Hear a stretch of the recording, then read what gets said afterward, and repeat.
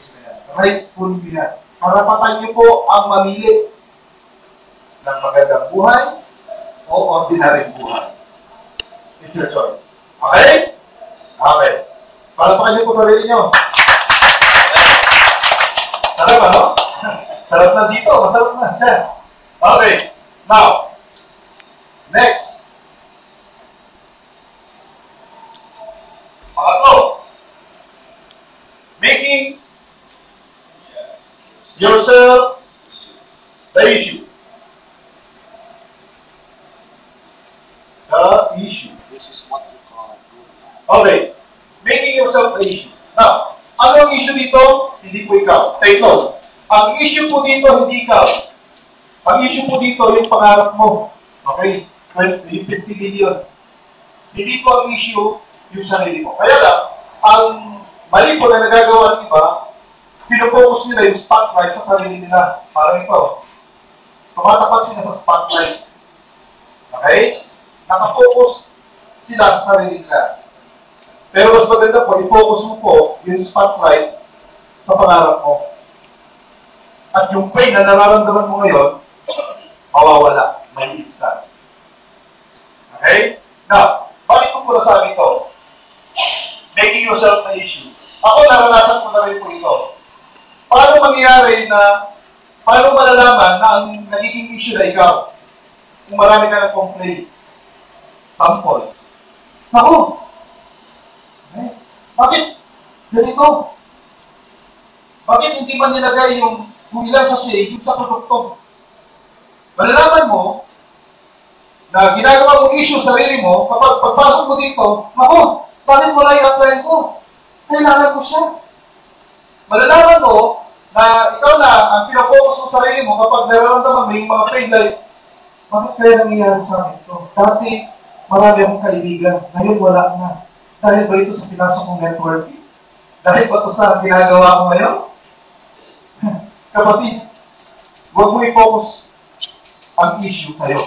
Ang issue po, nasa pangarap mo. Wala sa'yo. Okay? Kaya remember, sabi ko nga sa inyo kanina, tignan mo lagi yung pangarap mo. Yung choice. Now, sa totoo lang, marami po yung nagugulimihanan sa issue na to. Sarili nila. Okay? Ako, nung ako po ay empleyado pa, at nag-resign ako, nung empleyado po ako, ginagawa ko 2 hours ang networking, very productive ako. Alam niyo po, nung nag-full time ako, nag-resign ako, hindi na ako naging gaan productive. Why? Kasi, ginagawa ko pa rin, kasi full time na ako, ginagawa ko pa rin yung business ko na networking, 2 hours pa rin. 2 hours pa rin. So, ano po yung nangyari sa akin, ma'am? Kasi, nakatingin ako dun sa sarili ko. I have all the time in the world. Full time ako, pero hindi full time sa negosyo. Pulling time ang tawag doon. Hindi ako full time sa negosyo. Pero, bakit ako nag-resign? Para sa aking negosyo. Tama? Pero hindi ko ginagawa talaga yung dapat kong gawin sa negosyo. Kaya, nakatingin ako sa sarili ko, yung pagod. Okay? Puyat. Kung narinig mo sa sarili mo, nararamdaman mo yung pagod at puyat, nakapokus ka sa sarili mo. Pero kung ikaw, nakapokus ka sa pangarap mo, ladies and gentlemen, yung sarili mo medyo makakalimutan mo ng konti at yun ang tama dapat gawin. Okay? Kasi bakit? Alam mo, sa totoo lang, bakit, bakit ka mahihirapan na gawin ito? Bakit ka dadanas ng hirap? Kasi, sabi ko nga, ikaw ang puputo ng sumpa ng kahirapan sa buhay mo. Kaya nga, ikaw ang sasalo, yung future generation mo, ikaw yung sasalo sa mga hirap na supposed to be sila yung nadanas. Ikaw ang sasalo, ikaw puputol eh. Kaya naka-focus sa'yo. Kaya lang, huwag niyo pong i-focus yung spotlight sa inyo. I-divert niyo po sa pangarap niyo. Kapag pa, ito ha, 50 million mo ha, na bahay, and ano pa, dito mo po itignan dito i-focus mo para maging creative mo yung mind mo para makaisip ng paraan, makaisip ng mga tao kung sino invited. And advice ko rin po, every day of your life, dapat gagawin nyo yung negosyo nyo. Now, walang pinipiling oras yung negosyo. Dapat. tignan nyo ha, iba po yung attitude ng negosyante na pagmamayari niya yung negosyo kaysa doon sa nagtatrabaho na. Tama hindi? Now, ang thinking dapat, isa kang sa may-ari ng negosyo. Kasi kung ikaw yung may-ari ng negosyo, I tell you, bago pa lang isig ka na para mag-prospecting, mag-invite, at gawin ang negosyo mo. Tama hindi? Pero kung ikaw ay thinking mo, eh, empleyado ka pala, at nakapokus ka na po, kulang na ng 8 oras ang tulog ko. Kanino ka nakapokus nun? Sa sarili. Naku, kulang. Dapat makumpleto ko yung tulog ko. Naku, dapat nanood mula ako ng telenovela. My husband lover. Diba? So, ladies and gentlemen, kapag ikaw, sinasatisfy mo palagi yung sarili mo, naku, papalayo ka sa pangarap mo. Sacrifice talaga ang pagkuha ng pangarap. Pero, kung yun lang, kailangan mong gawin, para makuha mo, ba't di mo gawin? Anyway, pinapangarap ko naman ito. Para pagdating ng araw, may choices ka. May choice ka bumaba, mag-taxi, tama? O may choice ka na maglakad, pamasyal, ha? Kaysa dun sa wala kang choice, kinakain ka ng oras mo. Ang mahirap po na mangyari sa atin, tumanda tayo na kung saan nagtatrabaho pa rin. Yan ang ayaw mangyari sa akin. Tumanda ako, nagtatrabaho pa rin ako. Hmm, mahirap yun. Or, tumanda ka, aasa ka sa pension ng 4,000. Maraming ganyan. Imagine mo, 20 to 30 years nila, binayaran yung kanila SSS. Yung kanila mo naman yung ginawa nila. Kaya para kumuha na ng 4,000, 5,000 a month, kulang pa sa pagbayad ng mga gamot. Arthritis, rayuma. Para, ladies and gentlemen, dito, kumikita ka na, healthy ka pa. Ang gaganda ng mga produkto natin. Now, ang maganda, okay, i-enjoy mo po yung sarili mo. Huwag mo gawing issue. Paano po i-enjoy ang sarili? Ganito, ang company, nagpapapromo, nagpapapromo siya, ang kadali ng promo. Papunta ng trip to Hong Kong. Yung uh, tawag nila, yung uh, requirements. Kailangan lang ng 20 pairs. Napakadali, di ba? Nagpa-trip sila, free trip sa Beijing. Ilang pairs? 35 pairs na. Ito ngayon, Singapore. 70 pairs na. Kaya gawin? Yes, yes. Kailangan ka na sacrifice. At kapag nag-sacrifice ka, I tell you, reward mo yung sarili mo. Pumunta ka ng Singapore for free. 70 pairs lang yan. Eh kung ayaw mo, mahirapan. Uh, huwag kang mangarap. Huwag kang mangarap na magandang buhay. Tama? So ladies and gentlemen, stop making yourself the issue. I-focus niyo po ang spotlight doon sa pangarap niyo, hindi sa'yo. Okay? Kasi kung pinocus mo sa sarili mo, yung emotions mo, magdodoble, magiging creative yan hanggang sa ang mo ng pain, ang dami mo ng mga reasons para ma-burn out ka at mag-quit eventually. Okay? So, iwasan niyo po yan. Deadly pitfalls of beginner. Number one, reinventing the wheel. Number two, small time attitude. Number three, making yourself the issue. Next.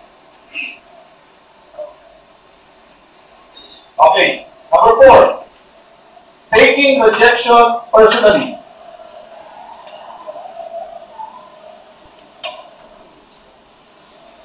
Taking rejection personally. Ang mahirap po minsan sa mga baguhan, pagka-reject sila, pinipersonal. Ano pong ibig sabihin ng pinipersonal? Now, sa totoo lang, maganda po yung negosyo natin na MLM o networking. Marami yung mayaman dito, marami na nababago ako ng buhay. Pero hindi karamihan po magugustuhan ito. Hindi karamihan sasali. Take note, hindi lahat ng ma-invite mo dadating. Tanggapin mo yan. Pangalawa, hindi lahat ng dadating magiginig. Hindi ng makikinig, maintindihan. Hindi ng nakaintindi sasali. Hindi ng sasali, okay, gagawin ng negosyo. Hindi lahat ng gumagawa ng negosyo, kikita. Hindi lahat ng kumikita, tatagal sa negosyo. Hindi lahat ng sa negosyo, mabubupangarap. Tama? Ang daming step. Eh, sa first step pa lang, hindi, hindi pa lang dumating yung invite mo, ah, okay, pinersonal mo na. Tandaan mo yan, pare. yan. Magsoryan na tayo ng kandila. Ayun ako, nako, nako. Huwag na huwag yung gagawin yun. Okay? Huwag niyo pong personalin ang rejection. Normal po, okay, kasi hindi lahat yayaman. Normal yan. Hindi lahat yayaman. Kasi kung lahat mayaman na, boring na. Totoo, kung lahat mayaman na, boring na. Wala nang, wala na tayong kukunin katulong. Wala na magtatrain para sa atin. Wala na magluluto para sa atin. Wala na tayong mahutusan. Tama? Kaya kapag may mga negative, alam mo kung saan sila papunta pagdating ng araw. Tama? Yes. Tanggapin mo yan. Normal ang rejection. Sabi mo nga, 100 times ka ma-reject, i-mindset mo sarili mo. So, huwag mong personal eh. Yung iba naman kasi, yung kapitbahay nila, hindi sumali sa kanila, binantaan pa. Huwag huwag kang dadaan sa amin, ha? Titira rin kita. Okay mo, No, no, no, no. Please, ano? Don't take rejection personally. Pag pinersonal mo po ito, marami po kayo mga kaaway, liliit po yung mundo, ginagalawan po ninyo. Tanggapin nyo na ang rejection ay normal. Gusto niyo ang kwento? Okay. So, sabi ko nga, hindi lahat po ng uh, dumadating, na nagugustuhan ng negosyo, eh talagang ginagawa nila. Ito yung kwento. Meron po isang Chinese businessman na talagang uh, successful na sa business niya. Si successful sa business niya, gusto niya mag-iwaliw. So, napakasipag po niya. Okay? Naisipan niya pumunta sa US. Sabi niya kasi, uh, yung, uh, yung, ano, yung uh, nakikita niya sa TV, mga ganda about US. So, siyempre, may pera siya, lumipad siya papunta ng US. So, itong Chinese na to, siyempre, uh, Chinese, kasama sa China, kasama sa Asia, tama ba? At sa Asia, maraming mahilig kumain ng mga exotic food. Tama? Alright kayo, kumakain ba kayo ng tamaro? Kumakain ba kayo ng, ng uh, palaka? Mga ganon? At sila, kumakain din ng, gaya na kinakain natin, kasi Asian din sila eh. Mga exotic food gusto nila. Kumakain din po sila ng aso. Okay? Aso. Now, ngayon, nung nasa US na siya, pagdating, paglapad ng aeroplano, ginutom siya. Okay, sabi niya, saan kaya pwedeng makakain dito? Nakita niya, restaurant. Ah, dito may pagkain. Kasi dito sa nababasa niya, sa restaurant daw, ng western restaurant, pag sa pagkain. So, umupo siya. Okay? Naka-suot siya ng ganito. Umupo siya, tapos lumapit yung waiter. Ibinigay yung menu. Tinignan niya. Hindi pamilyar yung mga pagkain sa kanya. Eh, siyempre, western food, gano, yung mga serve nila. Ngayon, hindi siya nagparatan, hindi niya alam yung pagkain na orderin niya. Okay, nagba nagmagaling siya, nagmarunong siya, sabi niya, ah, I like this one. Itinuro niya, hotdog. Sabi, okay sir, right away. Okay, so binigyan mo na siya ng, ano, ng drinks, mga free drinks, mga gano'n. So maya maya, yung uh, pag-serve nila, naka ano pa, elegant kasi, fine dining. May takip pa.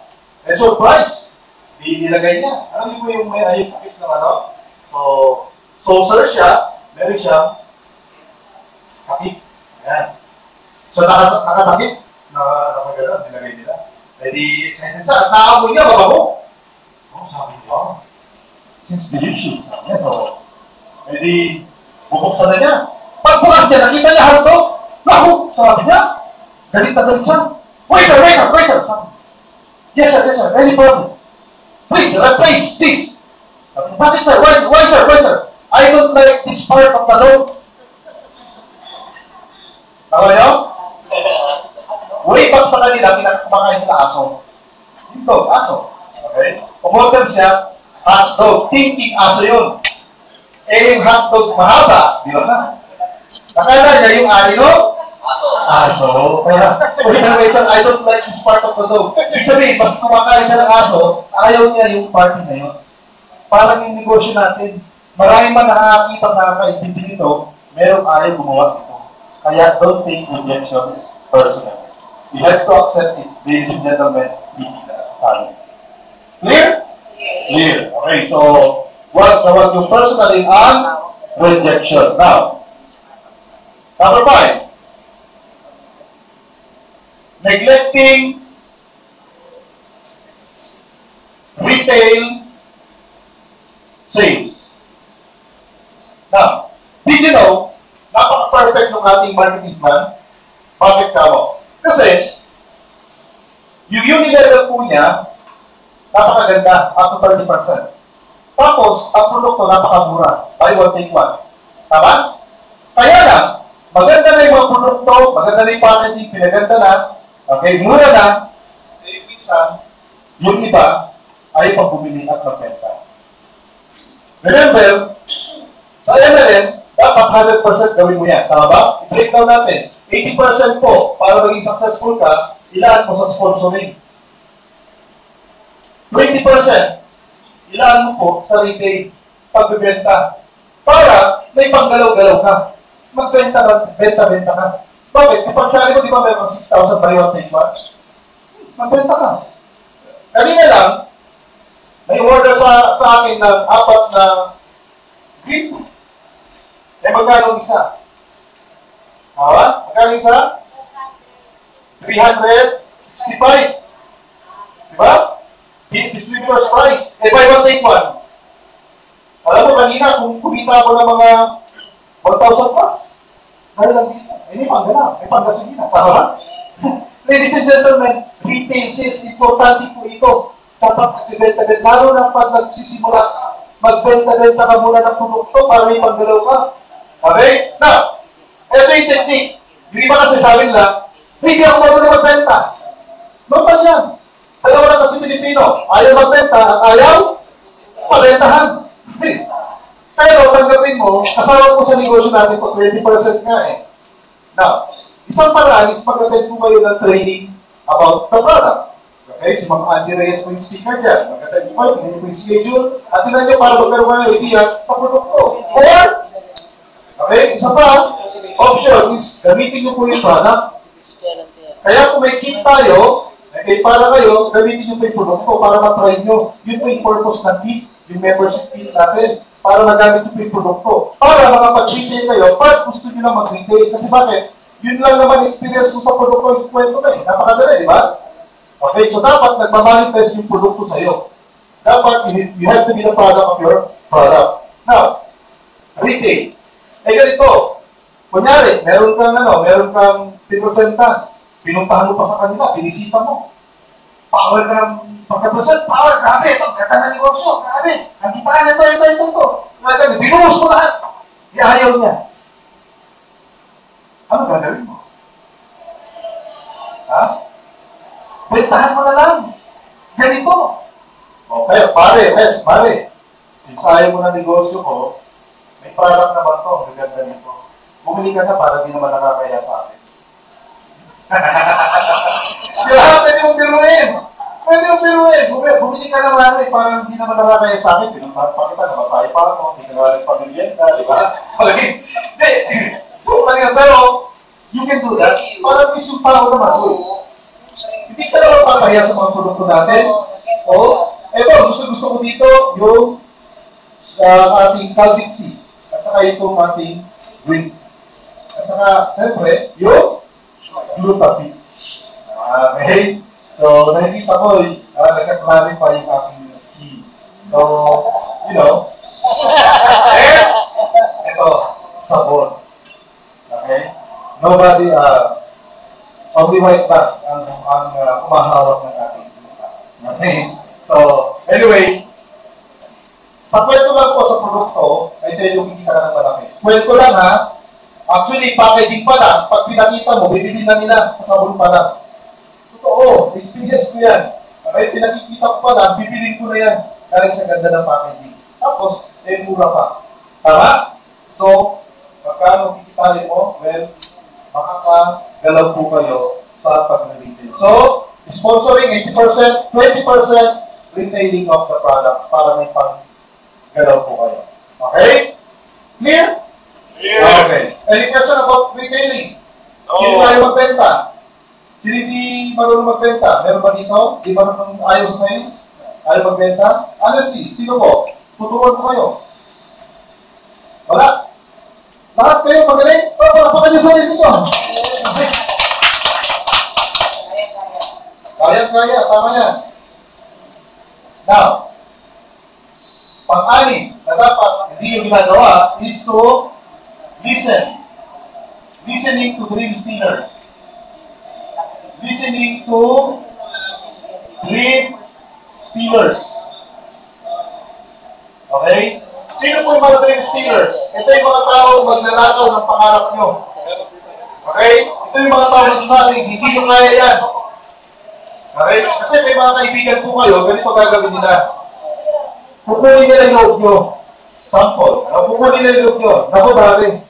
Pare, huwag ka nang gumawa ng negosyo ganyan. Okay? Kasi, itong negosyo, itong negosyo yan, kukunin ang oras mo. Mag-preoccupied ka. Magigulo yung tahimik na buhay mo. Mga ganun sabihin nila, dito na lang tayo, pare, pare. Para tayong lahat, eh, pare-pareho. Tama? O, dito ka na yun. Na kayo umalis, na kayo magandang opportunity para tayo lahat mahirap. Masaya ba? Ako, kung kayo po, nag-enjoy pa sa kahirapan, makinig kayo sa kanila. Kung kayo pa, pag-gising nyo, nag-enjoy pa kayo, okay? Dahil hindi po nakukuha pangarap nyo, eh makinig po kayo sa kanila. Kasi bakit? Sila po talaga, okay, yung mga huhugot po sa inyo. Alam po yung crab mentality sa mga Pilipino, hanggang ngayon nandyan yan.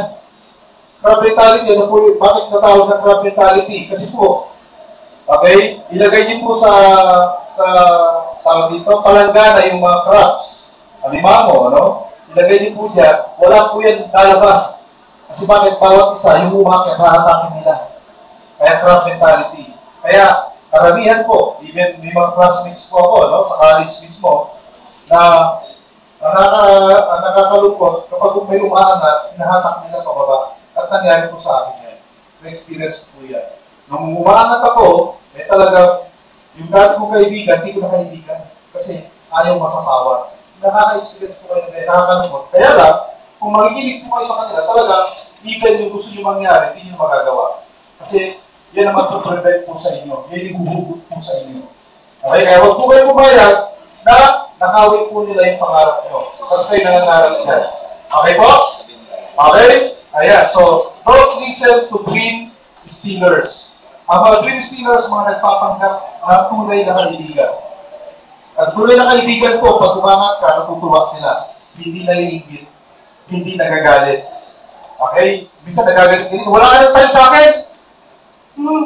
Di ba? Kapit ka rin natin ng ano na yan, ng networking mo na yan, ng mag-recruit. O, gano'n. So, normal yan. Okay? May experience din po yan. Now, number seven. Taas po natin ito. Number seven. Okay? Abusing your upline. May kilala po kayo ganito? Abusing your upline.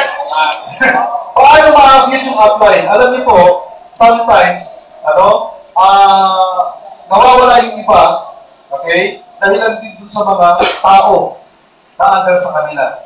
Okay, hindi sa tao nasa taas nila. Okay, bakit? Kasi nagpapadala sila. Now, ladies and gentlemen, paano mo ma-abuse yung tao nag-invite sa'yo? Paano siya ma-abuse?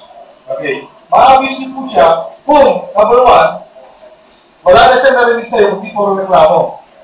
Huwag na huwag yung gagawin ito. Baka ikaw maging para hindi nila po ninyo ang pangarap niya. Okay? Nandito po tayo, hindi po tayo mga expert, nandito po tayo para magtulungan. Okay, apply na tayo ng relationship, dapat maganda, maganda yan. Now, baka pagdating ng araw, isa, na, isa ka na rin sa mga dream stealers. Paano yung apply? Kapag ikaw, laging puro mga emotions mo ang paiiralin mo. Like, apply, bakit ganito? Hindi mo na ako tinutulungan ngayon. Hindi ka na nagre-reply sa text. Apply naman. Paano ako yayaman? Kaya ito, hindi nakasalalay sa apply mo pagyaman mo. Tama? Now, nakasalalay po yan sa iyo. Kaya lang, marami po na burn out dahil dito. Baka isa yung apply mo. Baka isa yung nagdala sa'yo dito, nauna pa siya nawala. hindi dahil sa iba, baka dahil sa iyo yan. Ladies and gentlemen, pagtulungan po natin to, lalo na yung tao nag-invite sa iyo, eh kagaya mo minsan nagsisimula. Huwag mo siyang hanapan siya ng wala. Yes. Okay, huwag mo hanapan siya ng wala. Hindi ba, upline, bakit nababalitaan ko, hindi ba upline, naglilibre, ikaw hindi. Tama? Kung ito upline mo, nabapressure. Pamasahe, pamasahe mo na alam ito, di ba? Tapos, papalibig pa ng showman, ilang beses ko kumain ng showman. Okay, so, minsan na-abuse po. Na-abuse. okay, so wag na po, wag na wag po natin i-abuse yung apply natin. Okay?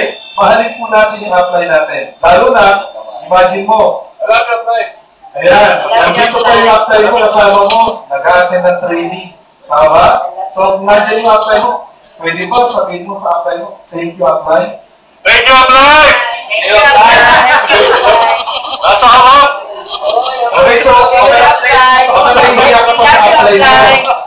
Take note po, ano, yung apply niyo po, siya po yung naging susi. Take note ha, siya po yung naging susi para makita niyo yung opportunity na to. Kaya kung wala yung apply niyo dito, okay, pwede yung text, apply, thank you, apply. Kinig na po ako, apply. Thank you, apply! Okay? So yung apply niyo po, isa naging dahilan, naging instrumento po, ginamit ng Panginoon para mapunta po kayo dito sa napakagandang negosyo. Kaya para pakali po apply.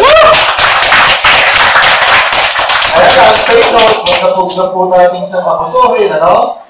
Lalo na yung mga emotional demands, ano? Tapos yung mga endless, endless complaints. Ayan. Ang nakikita mo, maliit na bagay, eh, pinupokus mo doon. Huwag po yun. Okay? Huwag na huwag po yung laging complaints na narinig nung apply sa inyo.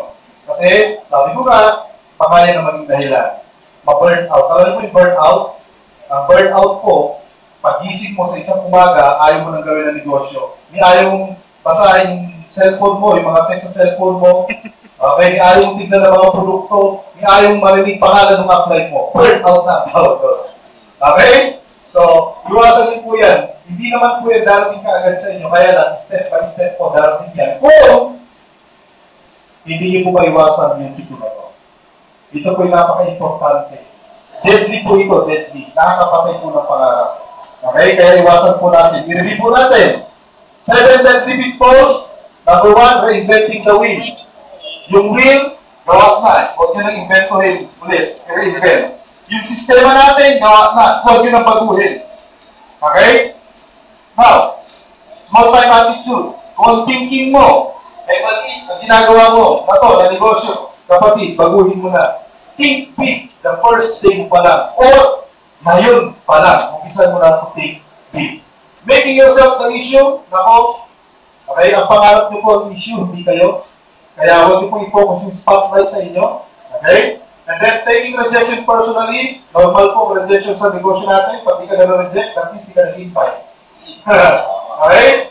Neglecting your retail sales, nako, sa ganda ng mga produkto, sa mura pa ng mga produkto, nako, magbenta din tayo para may pagkala.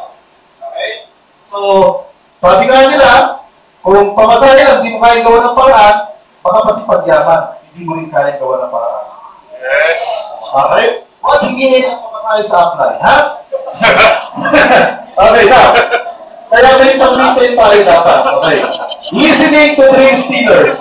So itong mga magnanakaw ng mga pangarap na to, ito yung mga mahal mo sa buhay minsan, nagkukunya rin kaibigan mo, na ayaw kang umangat. Gusto nila sama-sama kayo para lahat kayo mahirap, para lahat masaya. Okay, so yun.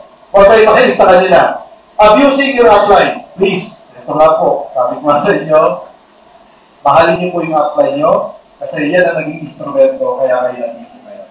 At para mabago, o maging instrumento para makita mo yung company na magpapabago ng takbo ng buhay. Okay, kaya mahalin po natin, apply natin, respetuhin po natin, huwag tayo maging dahilan para mag-quit at apply. Okay?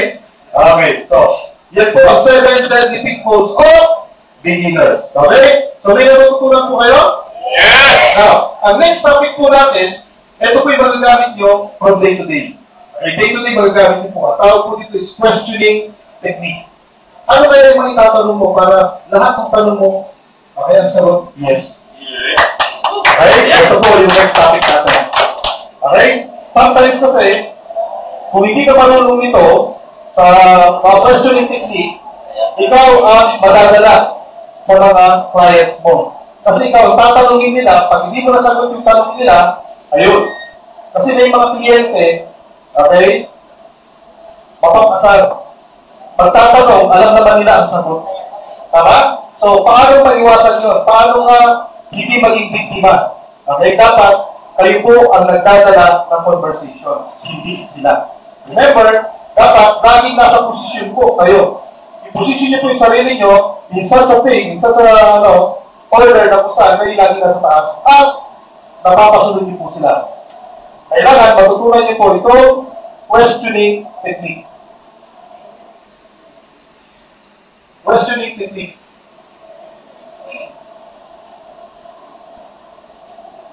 Questioning technique. Now, sample. Kung minsan, kung di natin alam ang katawagan, pwede natin i-explain kung paano, kung ano yung bagay na yun. Sample, bigyan yung sample. Meron ako isang iniinom, kapag iniinom mo siya, nawawala yung buhok. Iniinom siya, halos wala ng lasa. Ano to? Tubig. Tignan mo ha, dahil po sinabi. Kaya kung sinabi kung meron kayo yun, tubig. Alam mo na agad. So, ibig sabihin, kung alam mo isang bagay, may tuturo mo. Tama? Kung hindi mo alam isang bagay, mo may tuturo. Kaya dapat alam mo yung tuturo ito. Kung minsan, ginagamit mo na ito, pero hindi mo alam na ito pala yun, katawagan. Okay? Questioning technique. Ano kaya yung mga technique na to para kung saan, okay, lahat ng tanong mo, ang sagot is yes. Kung lahat ng tanong mo, sagot is yes, aba, maganda yun. Tama? Oo, kung pwede ba yun, lahat ng tanong mo, sagot yes? Yes, okay. Technique. Ang technique na to, number one, tie down. Tie down technique. Ang tie down is a leading question. Leading. Hindi misleading ha? Leading question. Nililid mo siya sa gusto mong puntahan. Ibig sabihin, ikaw nagdadala ng conversation. Okay, leading question. Nag-start siya sa diba. Starts with diba. Anything, any question na nag-start ng diba, ang sagot niya, yes, yung tawag niya open-ended question. Open-ended question. Lahat ng tanong nagsimula sa diba, ang sagot niya, yes. Tie down ang tawag nun. Parang tinatali mo siya. Hmm, wala kang kawala. Okay, example. Di ba mahirap ang buhay? Oo. Di ba malamig? Di ba mainit? Di ba bago ako? Yes. Sabi ko, yes lahat. Di ba? Ay, may kumakontra. Ah, guard, guard. Ah, huli, huli. Okay, anyway. Tie down. Leading question ito. Dapat magamit ito. Dapat equip kayo nito. Kung hindi ka equip nito, kung ano-ano na tatanungin mo. Tama? Ngayon, may kliyente ka na. Ito na. Prospect ko. Matagal ko itong pinangarap na makaharap. Kaya hindi mo lang ngayon kung tatanungin mo. Kung isa, hmm. Papa, hindi. Nakaalis na. Tama? Kasi hindi mo nakuha, hindi mo siya natali hindi mo siya natali. So, you have to know this. Tie down. Reading question to. It starts with diba. So, alam mo na ngayon. Okay? So, dapat nag-usap tayo. Ano ba mga question? Gamitan mo lang tie down. O, di ba? Alam mo na ngayon kung ano yun. At may tuturo muna sa tao mo. Kaysa doon sa, alam naman natin ito dati. Pero hindi lang natin alam ang katawagan. Kaya, kaya importante po na alam natin yung katawagan nito. Okay? Now, meron pang isa. Inverted tie down. Sabihin, sa inverted tie down, baliktad lang. Leading question din siya, ang diba, nasa huli. Nasa end. Maliwanag po ha? Naintindihan niyo ba? Di ba? Wala po ako, di ba? Yes. Wala po kontra. Po ako, di ba? Yes. Oo, ganun. So, di ba nasa, nasa huli? Maski ayaw niyo, talaga sasagot ka na, yes. Di ba? Maski ayaw mo yung tanong, ang sagot niya, yes. Ano man, ang question na nag, nagsisimula at natapos, na natapos sa di ba, ang sagot niya, yes. Tawag yan, leading question. So you have to know this. So either of the two, nag-start man siya o nag-end sa diba, kaya lang huwag yung ibig. Diba, diba? Diba, diba, diba? Ay, huwag naman gano'n, okay? So, baka naman diba na lang ang masabi mo. Meron siyang nalaman sa gitna, siyempre, either sa dulo or sa unahan. Okay, now, pangatlo. Okay. Pangatlo ay tie down tagpon. Okay, ito naman ay magkakasunod. Tie down, yung nauna, tag-on. Okay, pag tag-on, ibig sabihin, magkakasunod. May series of leading questions ang tawag dito. Series of leading questions. Series. Ibig sabihin, expert na gumagamit ito. Hindi lang pa isa-isa yung tanong. Ang tanong niya, alam na niya kung ano yung tatanong niya na series na tanong sa taong to. At ang sagot na, yes. At sa dulo, yung tao.